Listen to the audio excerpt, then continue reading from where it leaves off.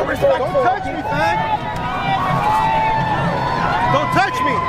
Don't touch Do me. not fucking touch me. Don't ever. touch me. Hey, this You need to touch me. these fucking idiots. They're not worth it. what They're just trolling. They're Don't touch me. trolls. Look, there's seven of them. Come on. This is all they fucking. Don't worry about that. What the fuck are you gonna do? No, Huh? What are you gonna do? away from him, man. What are you gonna do? Nothing.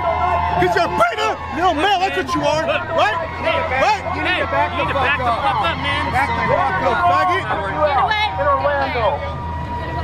The guy's Remember Orlando nightclub? Trolls. One of your Sad, own took sad you out in trolls. Orlando nightclub. Remember that, homo. Sad, roided out trolls. They don't know who they really are. You know who you are. You know who you are. You're all good. You know who you are.